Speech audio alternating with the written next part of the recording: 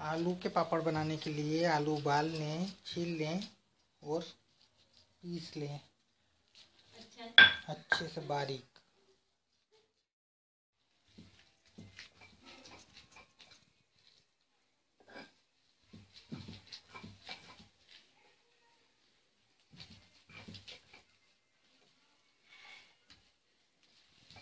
उबाले, छीले, तोड़े और पीसे।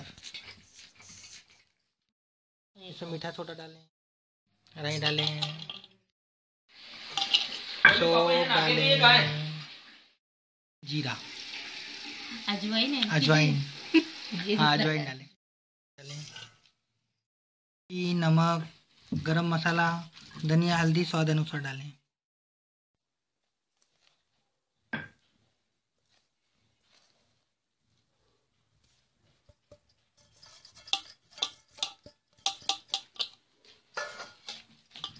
पिसे हुए आलू में अच्छे से मिलाएँ अब इसे। थैली में थोड़ा सा ऑयल लगाएँ उसके बाद आलू की लोई लोई बना के उस पर रखें और मिक्स करें।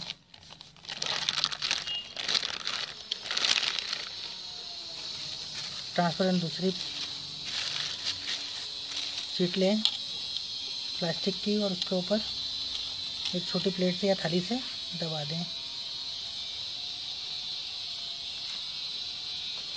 उसको गोल आकार करने के लिए और थोड़ा फैला लें।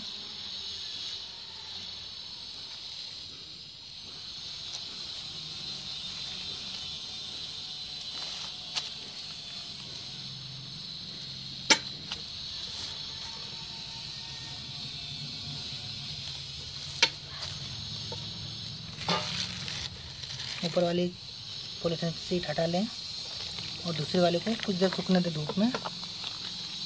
उसके बाद इससे ट्रांसफ़र करके दूसरी दूसरी हमने बिछाई है। उसके ऊपर ट्रांसफ़र कर लेंगे और सूखने के बाद इस तरह हो जाएँगे पापा।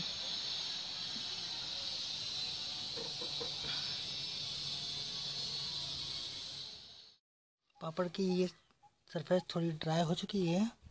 अब एक एक सीट से बड़ी सीट पर ट्रांसफ़र कर देते हैं, इसके ऊपर इसके ऊपर कपड़ों को ट्रांसफ़र कर